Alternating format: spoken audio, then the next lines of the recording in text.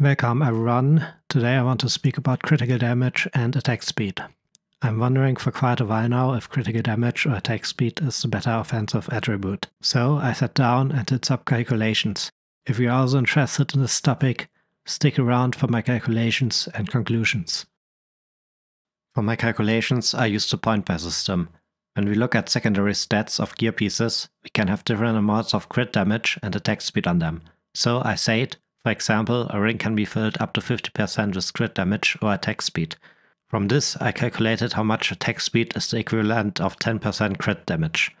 From this, I could then iterate through real combinations of crit damage and attack speed we can have on our gear by spend points on one of these stats, or in other words, create a row and a column in an Excel sheet and increase in the rows the crit damage by 10%, while increasing in the columns the equivalent amount of 25.63 points of attack speed, and then calculate the resulting DPS from basic attacks to find the sweet spot between them for optimized DPS.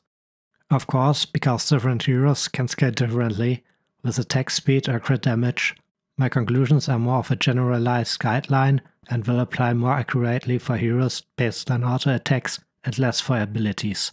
For example, Vienna does not scale with attack speed, because a basic attack is not affected by this attribute, while Idril is purely based on basic attacks. Another example is Helga, who gets a higher attack interval reduction from attack speed. To understand if crit damage or attack speed is better, we need to first understand how attack speed scales. So in the first step, I had to find out how attack speed scales in this game, for this, I took some data points by varying the attack speed on one of my heroes and noted down the resulting attack intervals. From this, I calculated the percentage by which the attack interval was reduced, to have a stat with which I could compare different heroes. By this, I found out that every hero with the same amount of attack speed has its attack interval reduced by the same percentage. Also, we can see in this graph where the amount of attack speed is plotted on the x-axis and the percentage buy which the attack interval is reduced on the y-axis. That the more attack speed a hero has, the less effective it becomes. This already could mean that going for a mixture of attack speed and crit damage could be the optimum. Because I used the point by system, for comparison, I needed a formula to calculate the resulting attack intervals. From the amount of attack speed added to a hero for the DPS calculation. This formula also helped to calculate the impact of attack speed on heroes with different base attack intervals.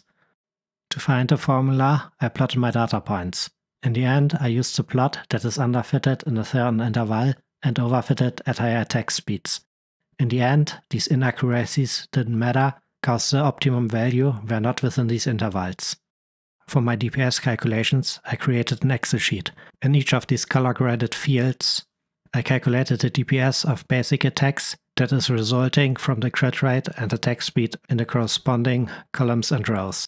Hereby, the green underlying values mean that the combination of attack speed and critical rate resulting in a higher DPS. Through the columns, the attack speed is increasing from left to right, and in the rows from top to bottom, the crit rate is increasing.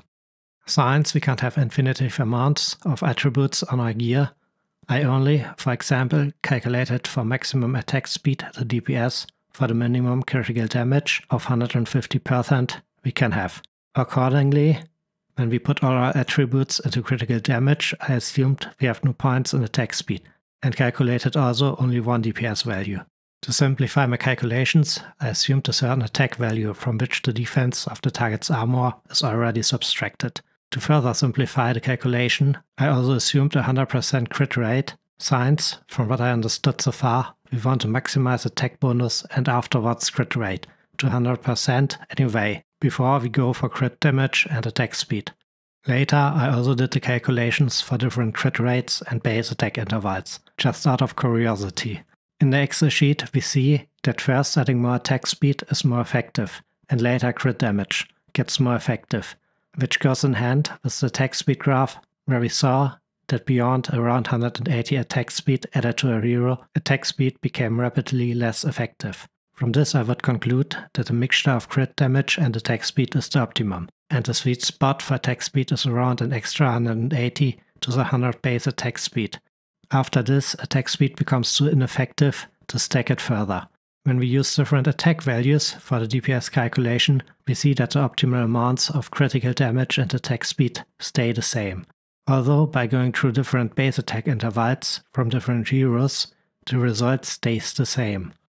Only when we reduce the crit rate, we see accordingly a shift where attack speed becomes more effective. Because crit rate is scaling better than crit damage and attack speed, we maximize crit rate first anyway, and can completely focus on the ratio between critical damage and attack speed for our endgame gear. To finally conclude, if heroes do not have special scaling with any attribute, it seems that mixing crit damage and attack speed seems to be the best way to build a hero. Hereby it is important to not add more than around 180 attack speed from gear, and aim for around this value, while also stacking crit damage. As a rule of thumb, I would say for each secondary crit damage attribute on a gear, we should take one equipment piece with an equivalent amount of attack speed, until 180 attack speed is reached and then purely invest in critical damage. If this video was helpful to you, consider to like and subscribe, and have a nice day.